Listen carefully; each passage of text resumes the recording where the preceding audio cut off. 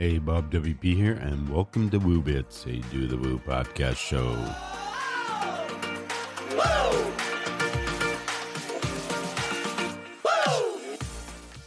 Well, we're back on track, kicking off with a series of shows from CloudFest Hackathon that I attended in March. In an earlier pre CloudFest episode, we shared what you can expect to see at the hackathon. But I will tell you firsthand that it's an amazing experience. There are so many reasons for anybody in the WordPress and Woo space to participate in a hackathon. I cannot list them all in this particular episode, but I want you to listen in as I was able to talk with a few of the project leads on day two and hear how things were going with their projects. The reason I did this is we'll give you some insights into the behind the scenes at a hackathon. We start with a few of the project leads giving us an update, and then we end with Lucas, one of the hackathon mentors. He gives us a few thoughts. So listen in. I'm sure you're going to find this very interesting. Hello, I am Andrew Hutchings. I'm also known as Linux Jedi. I work for the MariaDB Foundation, and I am working with my team on a project to integrate our new feature called MariaDB Catalogs with PHP frameworks such as WordPress, Drupal, Joomla, etc. And the general idea of catalogs is containerization inside MariaDB itself. And that means that you have one MariaDB instance running, and every customer has their own catalog inside that instance. So the memory is shared. You're saving a lot of RAM that way. You don't have to have 50, 1,000 different MariaDB instances running, each with using a gig of RAM. You just got one MariaDB instance running, but you still have each customer siloed essentially. Now, the whole project we're doing today is to make it easier to administer this, to create new catalogs, to remove catalogs, and things like that.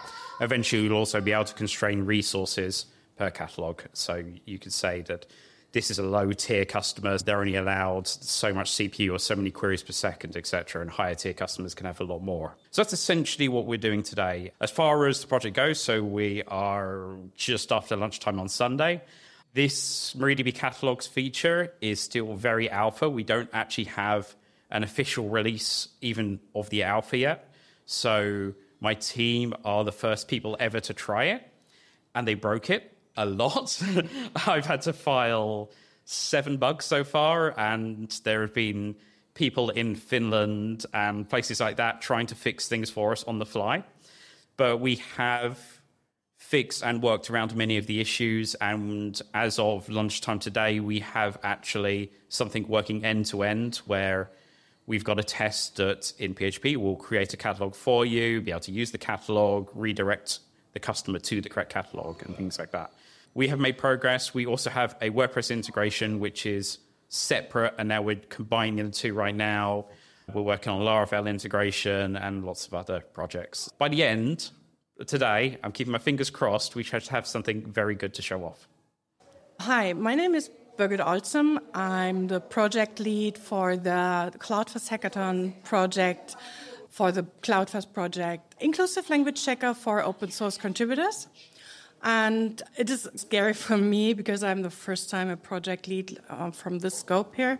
And we are currently focusing on improving the workflows for open source contributors, currently specific for WordPress contributors who want to publish content on WordPress sites, especially WordPress.org and WordCamp site, to make sure that they're using in their written content is inclusive and using inclusive wording and highlights also which terms are critical or not really good to use. And yeah, and the dynamics of the project is really nice, and we have a great group setting. We have uh, a diverse team of about 12 people who are really invested into the idea. We have a part who are developing a plugin which is as clean and lean enough to be installed also on a, a WordPress multi-site, but also to be non-destructive and non invasive when you are publishing content, but it gives you a nice overview where you may need to improve your text. Yeah. And currently we're working on an MVP on a basic functionality, but we have also a roadmap which will be published after CloudFest Hackathon. And the other part of the group is currently working on the documentation for the plugin itself, but also setting up our GitHub project uh, repositories where the documentation will live for the moment. And also, we are focusing on the underlying structure, like the administrative tasks, so that we can scale the project after the hackathon. Because the goal is that this kind of plugin will scale and offers an easy and clean opportunity to check your content for inclusive language, but also have basic check of accessibility like hierarchy and yeah, basically helps you to write better content. I'm Javier Casares. I'm one of the team reps uh, from the WordPress.org hosting team. And in this CloudFest, in the hackathon, we have a project to improve some project inside the WordPress community. Uh, we have some tools around how hosting companies can test the future releases of WordPress. And that's what we are doing. So the first day, uh, I, I didn't know how it, go- it was going to be because it's funny because I was here last year and this year it was like, okay, what's going to happen? And we are only three persons in the team. So I think it's most the, the littlest one, but it's been awesome because we are advancing a lot because we had some ideas in the past. A lot of hosting companies asked about doing some improvements and we didn't have the time. So we are advancing a, a lot. The main thing we did the first day was the main goal, I think, for the whole CloudFest hackathon. It was checking multiple versions of PHP in one hosting company because usually uh, some years ago probably a hosting company used one PHP version for all the WordPress sites and now hosting companies uh, gives you the option to pick what version is better for you. So um, that was some concern in the hosting community and, and in the developer part um, on how we can test everything in all the hosting companies. That's the first step. We did, we get that at the end of the day. And today it was like, okay, we need another goal and another step. So we are going to create the multi environment system because another thing hosting companies have is different services because they have shared hosting, VPS, cloud, and each of that environments are different from each other's. And that maybe is different for WordPress, for how WordPress works in in each one. We are today we are focus, focusing on on that. I hope we got we got there, but yeah, it's it's been funny. It's it's more funny. I was very nervous be, before coming coming here, and last week Carol told me it's like another contributor day, eh? and it was like okay, I can go with that. So yeah, it's been very funny. I'm Pavel. I'm the Alma Linux evangelist, so I'm obviously with Alma Linux OS Foundation and the project. Of course, we deliver the uh, operating system, and as such, we are maybe not outliers is a wrong term here, but we are side of this community here. But we are also the foundation of many businesses around here. We produce forever free. That's the best feature of it. The second, and I say it's exec, so it's the same position that it's community driven and community owned. So it's like the system by us for us. And as it's business, we need a stable platform, the production grade platform. So we aim to make it robust enough for ourselves and for everybody in the community to use it. So now we aim to be ABI compatible with RHEL. Before that, we were cloning it.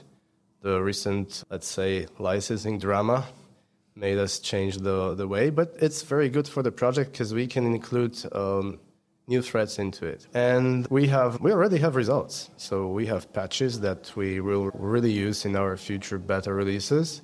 We discovered some bugs, but in general, it's been productive. We're worried about also our strategy depended how many people will get because we had one of the projects more demanding and we attacked things that we could do with these people that we actually got. As an open source project, we need something that is, has a longer life cycle and makes sense to invest into this. For instance, our, the umbrella name for our two or three projects is easing OS upgrades.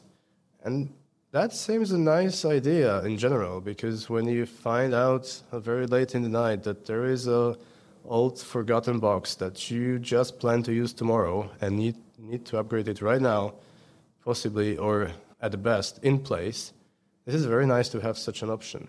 Also, when you have a long term forgotten instance somewhere in the cloud that you need to upgrade without resources as well, you can do this uh, with our Elevate tool, which is like a pivotal point for most of the hackathon projects. So, the two ideas that we had were one was about CentOS 6 to CentOS 7 upgrade, but this is a big project, so we didn't get enough people to tackle it to tackle on this one. The other one is making something real world specific. We have an, an WordPress application running on our Alma Linux 7 system, and we are doing the complete OS upgrade, including the application, so that we can cover the limitations of handling the configuration and that stuff these days when we're constantly pushing towards the bleeding edge, we want the latest and the greatest. And I completely understand the, the industry because it's newer. You just sometimes cannot get support for the older hardware, and that is the motivation for people to, to go further. At the same time, there are people that know their hardware and they know it was uh, reliable enough to use it. They can assume that the firmware changes are not required to for this hardware to, to function under newer releases of the operating system. But there are also people that, possibly from emerging economies, where we can lower the entry barrier for them to be able to just create their own storage systems with lower cost, utilizing the hardware that is lying around. But yeah, that's the reality. During the project, we during this hackathon, we were able to uh, produce a patch for Alma Linux 8.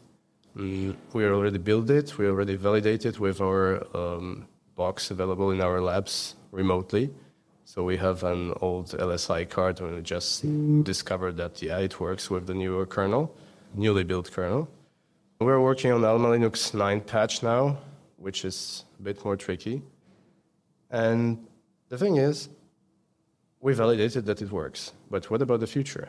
The future is we need to include it into our testing systems to just test the regression on every major release that we're actually not just delivering the driver, but it's really working. It's it depends, of course, of on contributors. So we need people who have this real installation and are willing to dedicate time and possibly effort of maybe recovering, maybe just playing with it time will show. But the idea is that it is for the people and by the people. So, as an open project, we need this helping hand coming from the crowd.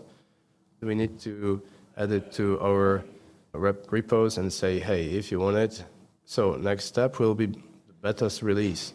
The 9.4 and 8.10 respectively, they will have this patched uh, kernel inside so people can really test if it works for somebody then basing on this feedback we'll take the decision what's the next uh, state for this projects yeah it's it's very nice because we're also touching ELRepo and CentOS Plus patches that were developed to they they have the build switches that in the kernel that govern building or not the the extended version with the so-called deprecated PCIDs and that is, of course, a very helpful situation that they have it because we don't have to go over each line of code and, and try to, to add those guards by ourselves. But there are places that we have to do it.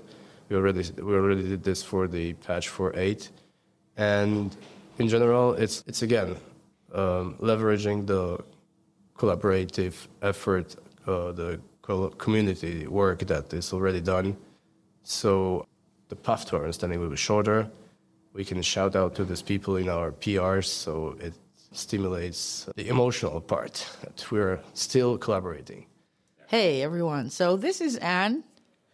And if you've been following the hackathon, you might guess who I am. I'm the one with the project called Can Everyone Use?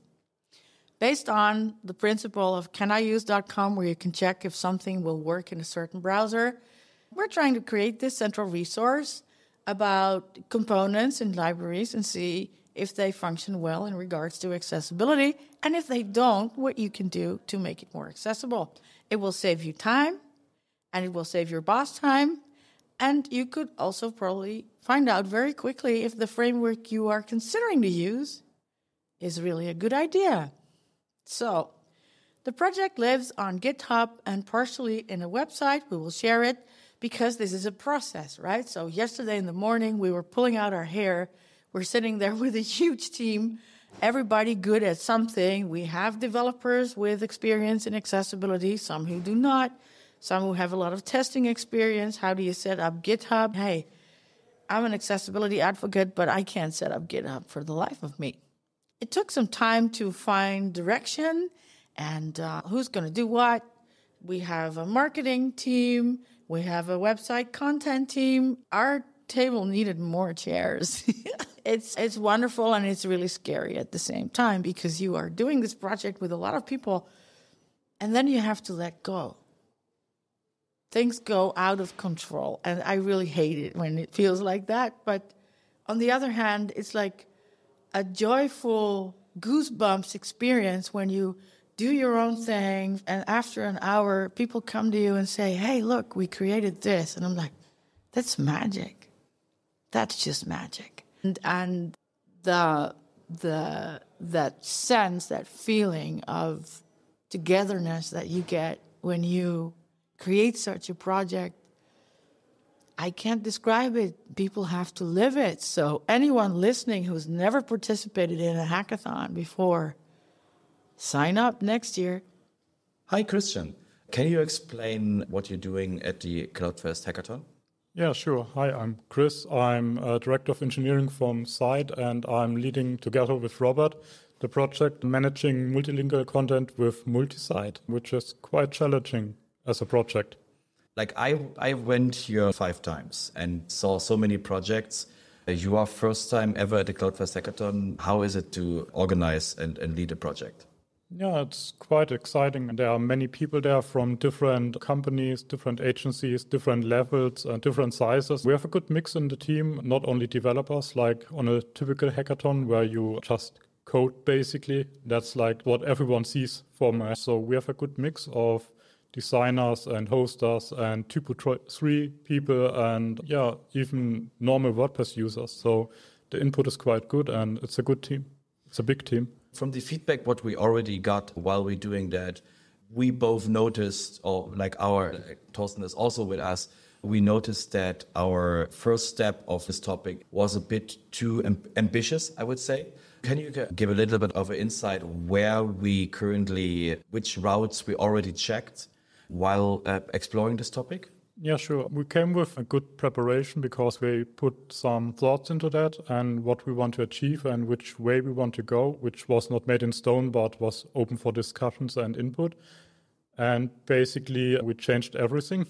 So we started from scratch, we got input, we took some steps down and started again. And yeah, the first day was basically just talking, so no code was written, which was also many people hoped to write code, but yeah, it was just starting on a blank sheet of paper and just go through the problems people have from different areas and yeah, just simply um, making it possible that everyone can use multi-site, not only developers. That's the big downside currently because it's quite technical. So you need to do many steps and edit files and change constants in WordPress, which is really technical and only for developers. So a normal user will never do that. And so we decided we need to solve first that multi-site is, yeah, it's possible to enable multi-site for everyone. So every user should do that and should be able to do that. And when that is solved, then we can continue. There are many different topics and packages and where we can work in parallel and are not really connected, but going into the final goal. And we're working on that. Yeah, it's interesting because it's not that you start from A and at some point you iterate and go many ways and then you meet at some point. Yeah, and, and as we have experienced so much experience with multi-site uh, as a company, that's why uh, we brought this project what did you learn something like uh, perception wise from other people um, with their perception on multi-site? What what you didn't know before because we like already know so many things about that? Is there one was there something? Mm, not really. We know most of the problems and we are aware of that but since we are developers and working long time with multi-site we can get around it because we know the problems so we know how to solve them in an easy way for us and for the clients. But it's yeah, it's a common problem, and we need to solve those problems not only for us, we need to solve them in the core, basically. So the problems shouldn't be there anymore in the end. That's the goal. So there are many smaller topics like user session management, bad documentation, which is not only code, right? It's documentation needs to be there that people need uh, to be able to read, understand, and get used to the concept of multi-site. And it's not that complex in the end. It's just WordPress right? And everyone knows WordPress. And if you have one button or link more or less, um, that's not relevant in the end. Yeah, and as we try to, one of the goals is to make multi-site easier to use. And we had the core philosophy of like decision options like we had uh, some interesting conversations on the table like how easy do we do this? Is can you give some examples like which routes we, we took to discuss those like simplifications of wordpress? Yes. Yeah sure. Yeah decisions not options is it's nice saying but it's not always decisions right? Because you need to have backwards compatible code and so you cannot always decide because everyone needs to be able to use it right in the end. So it's yes you can make decisions but everyone needs to be on board for that. That's like the biggest problem we faced because our first standpoint of view was like, yeah, we turn multi-site on by default and that's it. Then we have multi-site, then we can do it, right? But that's not that easy because we have many single sites, we have many hosting companies which are not supporting multi-sites and so we need to find a way to convert single sites to multi-sites in an easy way for the end user, so non-technical way again. So the the easiest way is click a button in the backend and it's done right? Which also has some technical details in the background which need to be solved. And then we also have the installation of WordPress. So should we install WordPress by default in a multi-site always for new sites? Which sounds easy, but if we imagine that we have the multi-site has new database tables and those are pre-filled with some data, and yeah, that's a few kilobytes. But if we imagine that we have millions of WordPress sites there which are installed, then that sums up to a lot of data. That's a decision we could make, but we keep to we have to be aware and keep in mind that it's not that easy, right? It's it's a bigger scope we need to keep in mind. And then in the end, it's also when you're already there, and or if you already have a multi-site or you have successfully converted to a multi-site, that's just the first step. You have the multi-site, and now you want to manage multilingual content there. So how do we guide the user? How do we uh, connect stuff? How make to make it easier? The big term here is network admin, which is a multi-site term for managing global settings, so site settings, users, plugins, and that's just confusing because what is network admin, right? And what is a super admin? What is that role? And it's quite special. Again, lack of documentation. Yes, that can solve that, but we should make it easier, more intuitive to the user. So, what are the next steps after after this uh, um, hackathon here? Yeah, currently, for now, currently we focus on having some screen designs via Figma, so we can also click through them and see like a user journey, user story covered. That's something we want to do on the hackathon now. We also write bit code for testing stuff like they automatically converting single site to multi site. So that's more proof of concept and mm, yeah, let's say hacky code but we want to show that it's possible. And all of that will be taken, and then we aim for a proposal on make.wordpress to basically suggest introducing multi-site to the masses. Yeah. Awesome. Thank you. Hi, I'm Lucas Radke. I'm one of the project mentors on this year's CloudFest Hackathon. So together with we were responsible for picking out those excellent projects we currently have. If I don't work here on the hackathon, I'm a product manager for WordPress VIP. And I'm really happy to be here to see how much stuff actually gets done during the hackathon because there are so many great talents around who really love to contribute to something and bringing them together for 48 hours and enabling them to do stuff they really care about is just amazing to see. And as an example, a few project leads already approached me and said, Hey, Lucas, this is so great. You've brought so many great projects and members for the teams. We even needed to adapt the scope because otherwise we would be done in 24 hours instead of 48. So they extended the scope, added more stuff thought about okay, how can we really use all the skills of everyone joined? Because not everyone is just uh, a PHP developer, a Node developer, or something. But also, non developers are around, marketeers, people who can write good documentation, people who look at accessibility and inclusion and stuff. And so each team has like multiple work streams, and at the end, they're going together to a great project. I can only recommend everyone to apply to the CloudFest Hackathon because it's really a one time in a year opportunity to get together with greatly minded people like yourself and simply do something that otherwise won't be doable.